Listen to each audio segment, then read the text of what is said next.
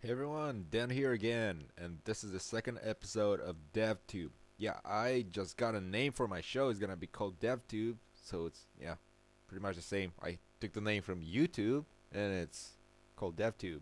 Yeah, for developers. Now, this episode, I'm gonna talk about rendering a model in XNA.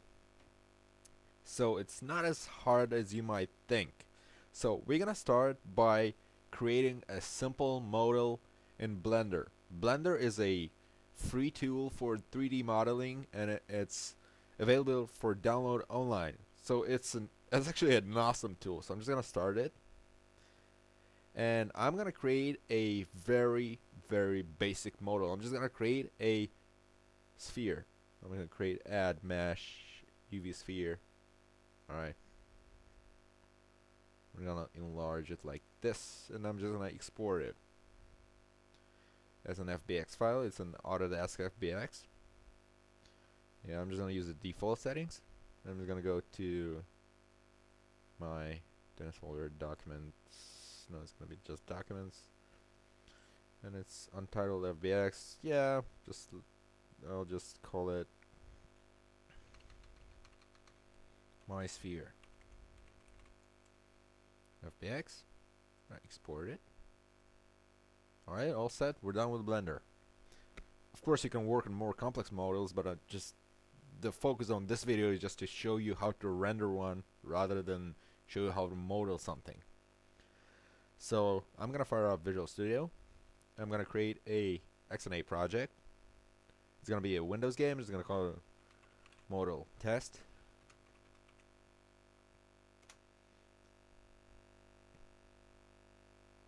Okay, we're all set. Now, first of all, I'm gonna create a instance of model. Uh, okay, it's gonna be a top of the class. Model. It's gonna be sphere.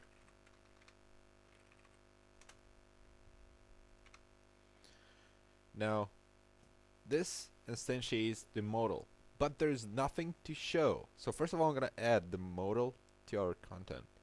So I'm just gonna add an existing item. Go to Documents. Pick my sphere. And add it.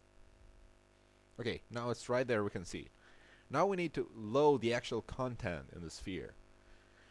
I'm gonna go here and say sphere equals content dot load. It's in model. And it's my sphere. All good here. Now we need to draw the sphere. To do this, I'm gonna create a separate method or function, yeah, uh, which will not return any value. It will just draw it. As I say, it's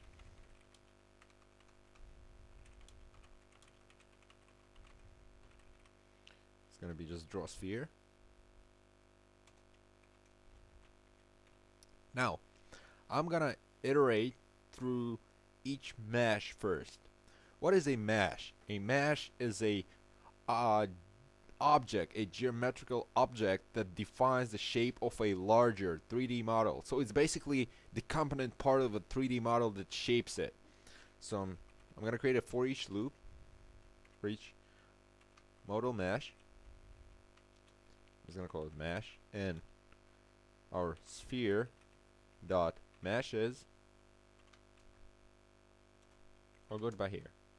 Now, through each mesh, I'm going to iterate with a basic effect. So I'm just going to create an up for each loop, and it's going to be a basic effect. Effect. Okay, and in uh, mesh dot effects. I'll go by here. Now, uh, before we go any further with this, I need to set up a camera. A camera that will look at the object, at the sphere. So I'm going to leave this function uh, for a little while. I'm just going to create a new one.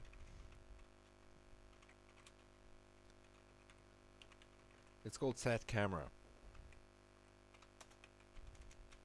And for this, I will need two matrices.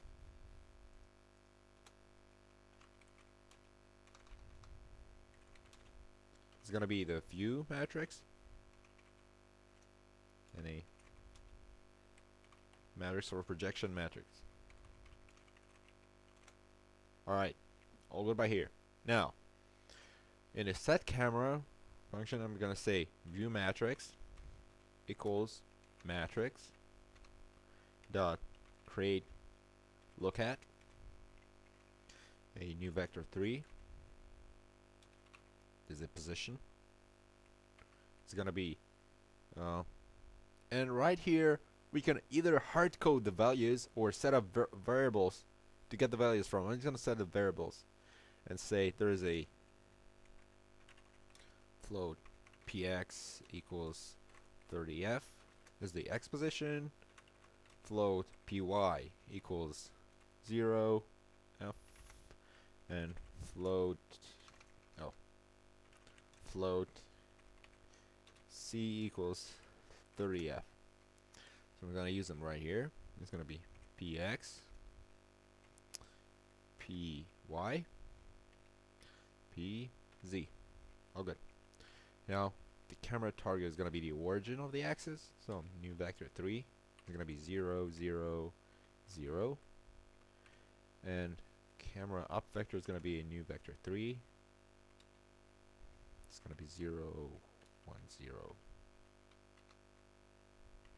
okay. Now the next matter is going to be the projection matrix.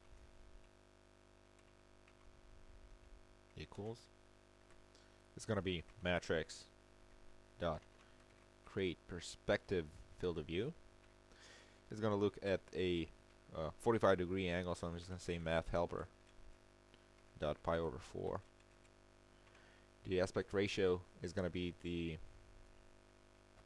the aspect ratio, yeah, is going to be my graphics dot graphics device dot viewport dot aspect ratio. The float near plane distance is going to be 0.1f. It's how close the object will be drawn. And the far plane distance is going to be 100f. All set. Now,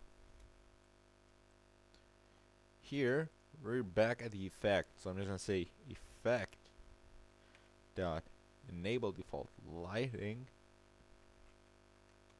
Now effect dot view so we set up the view for it equals view matrix effect uh, uh, projection equals projection matrix. Effect dot world equals matrix dot identity. And now um, just gonna draw the mesh. So I'm just saying mesh. I'll draw right here. And now in the draw function I'm just gonna call draw sphere. Let's see what happens when we run the game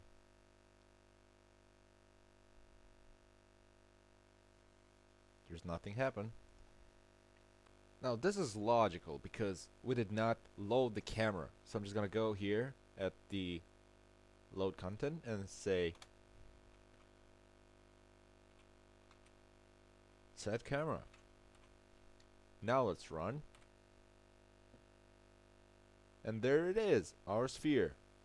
Now, since I keep the position of the camera as a variable, you can easily change it in the update function to rotate the camera around the object and to actually move it uh, back and forth to the object. So now you know how to render a simple object in XNA. And this is it for today. Thanks for watching everyone and you can find me at Dennis Code on Twitter and DennisDell.com. That's my website. Thanks again.